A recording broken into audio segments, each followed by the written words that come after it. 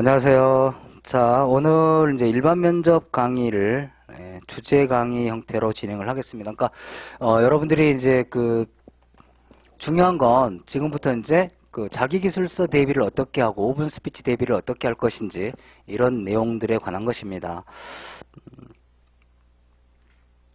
자, 교재를 한번 봐보시면 교재 2페이지에 보시면 면접 종류별 대비 전략이 나와 있는데요. 여러분들 설명회 때 말씀드렸던 것처럼 네, 여러분들이 이제 몇 분씩 하고 어떤 질문들을 하는지 대충 이제 알게 될 것입니다. 그래서 어, 여기서는 이제 주제 강의 때는 면접 종류별 대비 전략 위주로 그 다음에 이제 개별 문제들에 대한 해제 팁으로 이렇게 진행해 보려고 합니다. 자, 5분 스피치는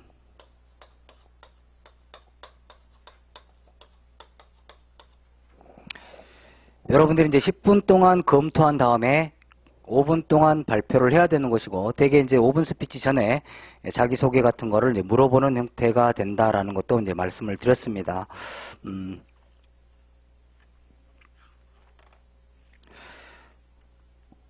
오분 스피치에 관련된 그 예상 문제는요. 저 뒤에 보시면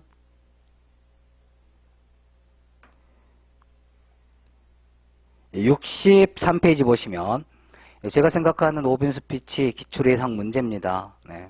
아마 이런 정도들은 반드시 해 두셔야 될 것 같습니다. 15번까지는. 네. 이거는 그 일반 시사 주제가 아니고 헌법성 쟁점도 아니고 예, 여러분들이 지금까지 이제 오분 스피치 주제와 PT 주제, 예, 기타 집단 토의 주제 이런 것들을 검토해 봤을 때 예, 1번부터 15번까지는 반드시 해 두셔야 될 내용이다라고 봅니다.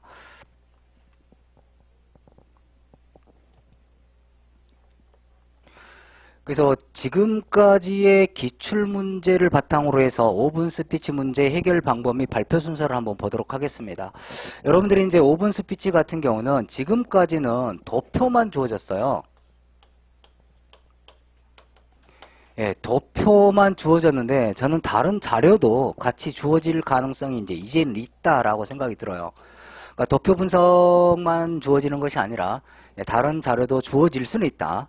예, 간단하게 뭐, 어, 한 10줄짜리 에서 20줄짜리의 글도 같이 주어질 가능성이 일단 있다라는 거고요. 자, 어쨌든 간에 여러분이 기본적으로 해야 될 거는 5분 스피치에서 이제 도표 자료를 분석을 해야 됩니다. 예. 64페이지 봅니다. 교재. 교재 64페이지. 그래서 자료나 도표를 분석해서 이것들의 핵심적인 내용과 이로, 인하여 나타난 어떤 문제점 같은 거 예, 그래서 여기서는 우리가 이제 핵심 내용을 추출해야 될 것이고요.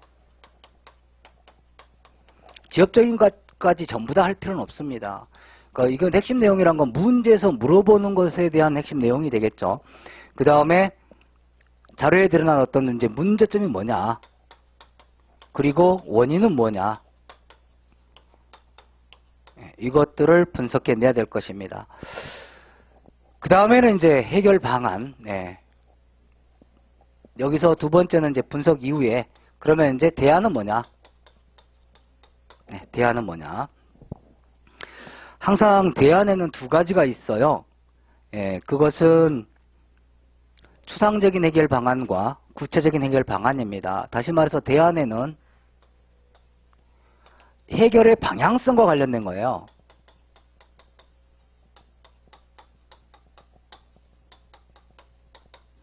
그래서 우리는 이런 걸 이제 추상적 대안이다라고 하게 됩니다.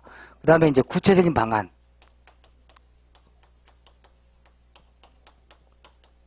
네, 이렇게 구분해서 발표하시면 됩니다. 그리고 마지막에 이제 이렇게 하게 되면 뭐 보다 살기 좋은 대한민국 아니면 뭐헬 조선이 뭐 해분 조선으로 된다 할지 뭐, 네, 뭐 아니면 해이 조선으로 된다 할지 뭐 이런 얘기를 한마디 더 붙이면 돼요.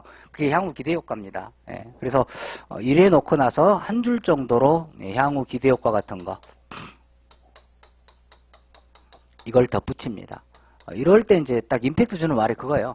헬 조선을 뭐 해이 조선으로 한다 할지, 뭐 해분 조선으로 한다 할지 이런 식으로 예, 만들어 가시면 됩니다. 제가 이제 64페이지에는 64페이지에는 어, 기본적으로 이제 해결 방안 써놓고 나서 예시 문제 3번에 제가 이제 그 제일 먼저 넣어놓은 거는 2015년 세무직 구급 문제를 넣었고요. 그 다음에는 국가직 유사 이거는 공, 그 비리 행위가 나왔다고 해서 제가 그 도표를 가지고 유사하게 구성을 해봤습니다. 음, 정확한 건 아닙니다. 이 문제는 정확한 재생은 아니고요. 세무직은 정확한 재생이지만 이건 유사 문제로 만들었고요. 그 다음에 이제 A시 문제를 8개를 붙였는데 A시 문제 3번, 3번을 보고 여러분들이 이제 이걸 어떻게 뽑아내야 될 것이냐 이런 문, 것들이 64페이지 나와 있습니다. 그래서 5분 스피치는 마지막 시간에 예, 이것들을 이제 풀이를 같이 한번 해 가겠습니다. 도표 몇 개 있는 거를 뭐 여덟 문제를 다는 못 하더라도 시뮬레이션 때 하기로 하고 시뮬레이션 때는 이제 이걸 추가해서 문제가 더 추가될 거예요.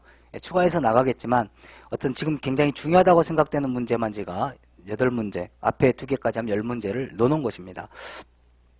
네, 그래서 어, 여러분들이 대비를 해야 될 거고요. 이건 이제 일단은 샘플을 예, 마지막 시- 마지막 회차에 아마 같이 해보는 시간을 갖도록 하겠습니다. 다시 이 페이지로 갑니다. 자, 제가 생각하는 5분 스피치의 주제는 헌법적 쟁점이랄지 시사 쟁점 그리고 직무 관련 쟁점 네, 그 다음에 인성 및 공직가치관인데요. 네, 지금까지 나온 거는 인성 및 공직가치관의 문제들이었습니다.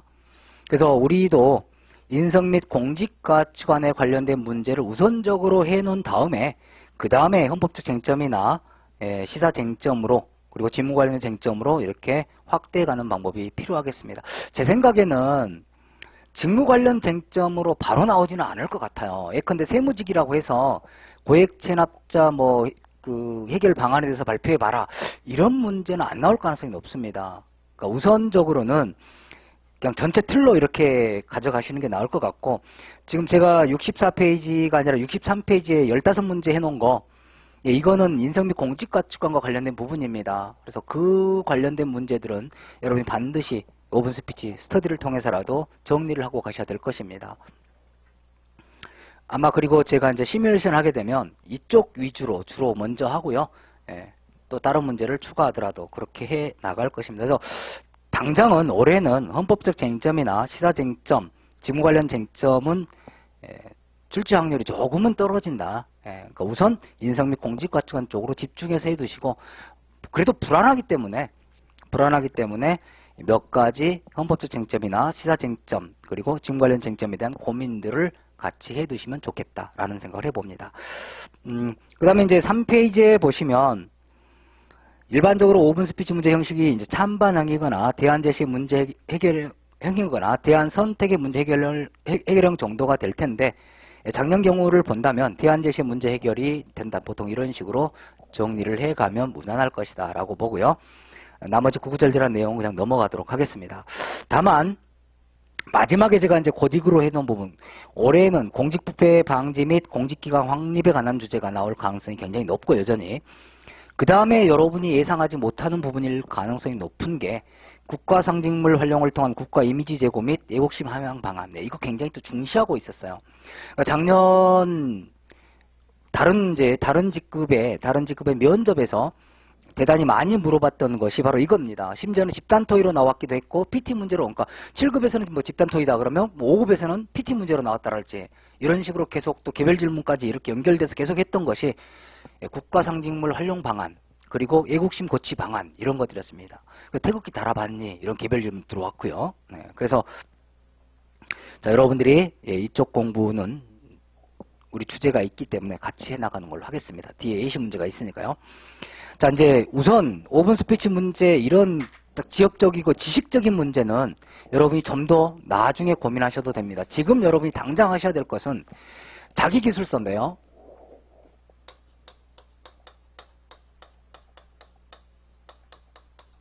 이 자기 기술서는 100% 거의 예측이 가능합니다.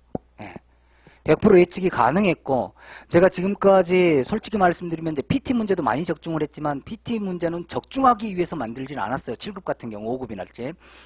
그 5분 스피치 문제 또한 역시 마찬가지입니다. 5분 스피치 문제는 처음에 세무직 문제가 나오기 전까지는 저는 헌법적 쟁점이나 이런 것들이 나올 줄 알았었어요.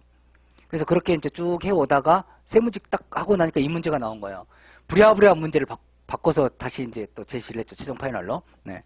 그래서 유사한 문제가 나왔죠. 네. 그래서 오분 스피치 문제는 100% 적중하기는 어려워요. 저, 도뭐 점쟁이가 아닌 상황에서. 그러나 자기 기술서는 거의 100%입니다. 어, 설사 문제가 다르더라도 실제는 똑같은 문제가 굉장히 많습니다. 예. 그래서 이 자기 기술서 같은 경우는 저는 이제 제가 명명한 게 경험 기술형 문제, 대안 제시형 문제, 상황 판단형 문제다. 예, 이렇게 예, 보는 거죠. 그래서 그전에는 상황 제시형 문제라고 보통 이야기를 했는데 저는 상황 판단형이라고 명명하고 싶고요. 네. 저 여기에 보니까 오타가 있네. 상황 판단형. 자, 어떻든 자기 기술서에는 경험을 쓰게 하거나 어떤 방안 또는 대안 방안을 제시하도록 하거나 아니면 상황에서 상황에서 어떤 걸 선택할 것이니 또는 어떻게 할 것이니 라는 어떤 상황 판단형 예, 뭐 여기도 문제 해결인가요? 어떻든 네, 이런 세 가지로 주로 나오게 된다는 거. 이건 이제 주로 사례 케이스 형태입니다. 네. 일단 이제 차근차근 말씀드리겠지만 경험 기술형 문제 같은 경우는 여러분의 경험을 어떻게 재구성하느냐의 문제가 굉장히 중요합니다. 이 제일 슬픈 게 뭐냐면 우리나라 지금 현재 그 경쟁률이 심한 상황에서 교육열이 높고요. 이런 상황에서 우리 학생들이 외국 애들처럼 방학 때 뭐 어디 여행 가고 이런 형편이 아니에요. 그러다 보니까 이제 뭐 그 요즘 스펙 싸움 뭐 이야기를 하, 게 되는데 뭐 해외 연수를 갔다 온 것도 아니고 뭐 그다음에 뭐 working 뭐 holiday인가 뭐 이런 것도 별로 해본 적도 없고 봉사활동도 많이 할 수 있는 여력이 별로 없어요. 그러니까 지역 인재 같은 경우는 그나마 좀 해보고 해보는데 우리 공무원 시험 같은 경우는 워낙 공무원 시험 경쟁률이 높기 때문에 필기 시험 이렇게 봐야 되니까 그 시간 동안 다른 걸 못해요. 사실 아무것도 없는 사람들한테 물어보니까 결국은 경험 이야기 하게 되면 할 수 있는 게 딱 그거예요. 과 대표 했거나 그죠? 그나마 요즘은 그것도 많더라고요. 저희 때는 그것도 없었는데 여러분은 이제 요즘 그 조별 그 과제가 프로젝트 형태로 많이 나오더라고요. 조별 과제 형태로 많이 나와서 여러 사람과 협업한 경험이 그나마 있는 거예요. 그리고 이제 동아리 활동. 그 다음에 남자들은 그것도 없으니까 군대 얘기. 딱 세 개로 압축이 되, 더라고요 예, 그래서 어떻든 그런 경험들을 우리가 어떻게 재구성할 것이냐. 그때는 막연하게 이렇게 했지만 의미 부여를 새로 해야 됩니다. 재구성한다는 것은 의미 부여입니다. 네, 이 얘기가 이제 어떻게 할 것인지를 좀 이야기를 좀 해야 될 것 같고요. 그 다음에 대안이나 방안 해결하는 거는 여러분이 이제 행정의 목표랄지 뭐 이런 것들을 좀 알게 되면 이제 할 수가 있는 문제인데 이건 좀 이따가 우리가 또 해 나가게 될 거고요. 자, 상황 판단형 문제 해결하는 방법은 가장 쉽습니다. 여러분들이 가장 어려워하는 파트인데요. 이거야말로 가장 쉽습니다. 보통 상황 판단형 문제를 우리가 이제 물어보면 예, 대개의 경우에는 대개의 경우에는 나이가 많이 들수록 경험에 굴복합니다. 특히 상사 앞에 꼼짝마가 되는 거예요. 여러분 그렇지 않아요. 그러니까 여러분들한테 요구하는 거는 상사의 부정과 비리를 눈 감아주는 예, 영혼을 상실한 공무원이 아니라는 얘기예요. 왜냐하면 면접관들은 아까도 제가 말씀드렸던 것처럼 청와대에서 제일 싫어하는 사람이 제일 지금 불안한 게 회의란 말이에요. 중간에 사고 치는 게 가장 큰 문제란 말이죠. 그 사람 하나 사고 치면 장관이 옷을 벗어야 되고요. 예, 이런 문제가 발생을 하게 됩니다. 그렇기 때문에 상관 앞에 굴복이 아니에요. 자, 상황 판단형 문제의 핵심은 여기에 있습니다. 지금 무엇이 문제인가?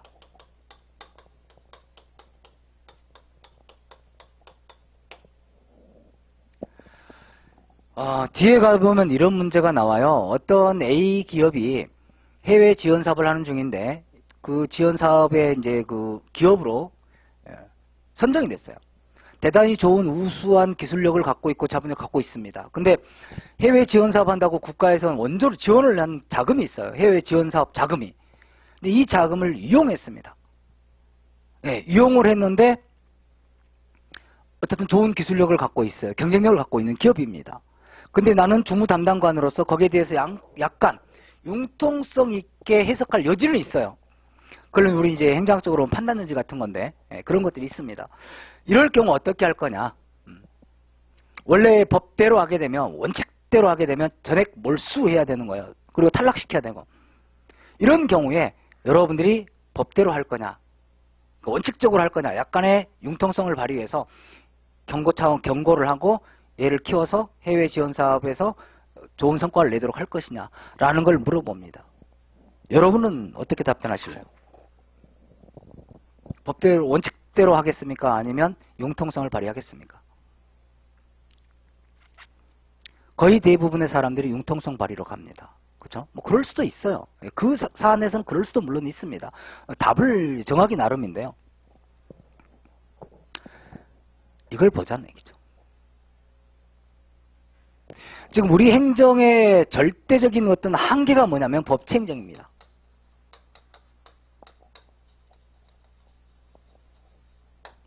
법이 있어야 되고 예산이 있어야 돼요. 이 두 가지가 있어야만 우리는 진행할 수가 있습니다.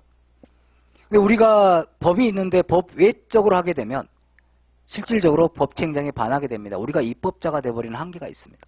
예. 그래서 사실은 우리가 이제 하게 될 때 이걸 하지 않으면 월권이 돼버리는 상황이 많이 발생을 하게 됩니다. 예. 그래서 우리가 할 수 있는 최대한은 뭐죠? 입법 상신입니다. 개- 법을 개정해 달라고 상신할 수밖에 없는 상황입니다. 근데 이제 아까 그 상황으로 다시 되돌아가 봅시다. 이제 그 상황을 이야기하려고 나는 한건 아니고요. 아까 그 케이스 상황을 보게 되면 기출 문제인데요. 그 상황을 보게 되면 지금 무엇이 문제인가?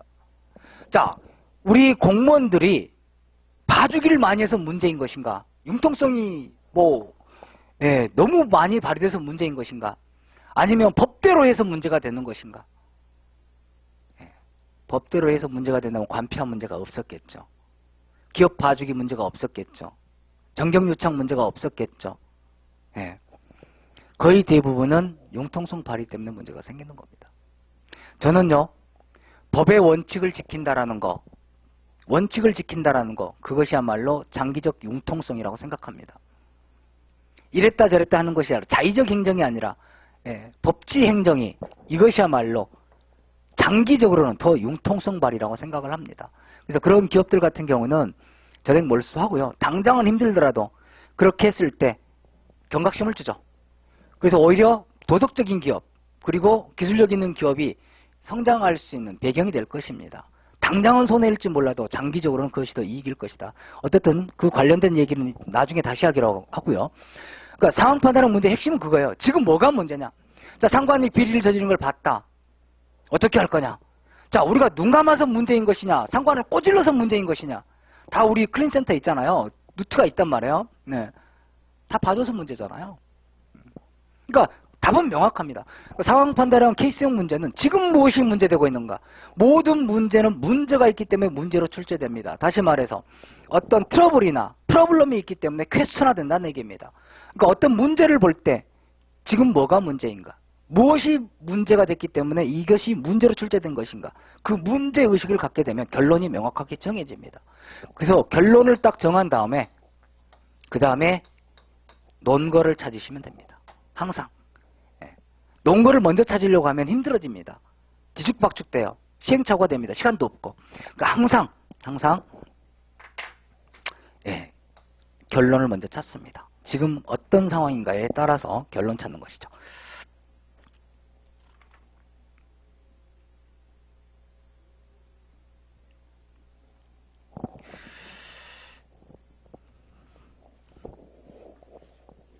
자, 그 다음에 자기기술서의 작성 방법인데요.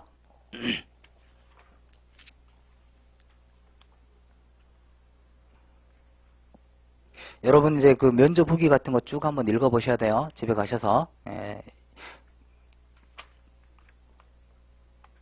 그건 제가 따로 면접 후기는 보지는 않겠습니다. 자, 면접의 기술 측면에서 보면 자기기술서 작성법 12페이지입니다.